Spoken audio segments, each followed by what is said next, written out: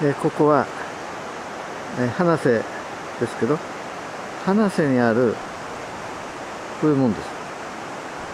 お茶屋跡。江戸時代のお茶屋の跡です。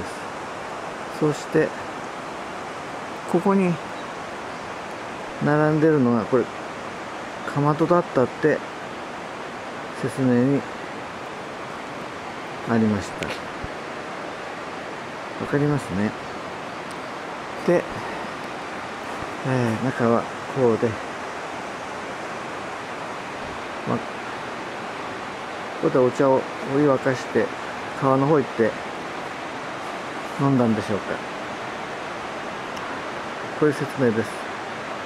え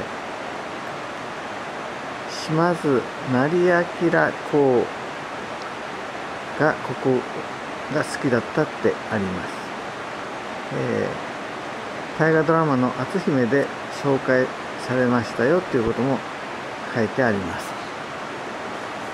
こっちに昔のどういうことだろうこれ？金港湾だろうか。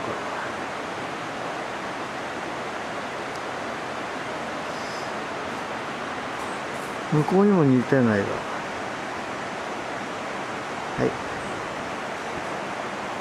そしてこっちですね。こっちはこうあって下に川が流れてます。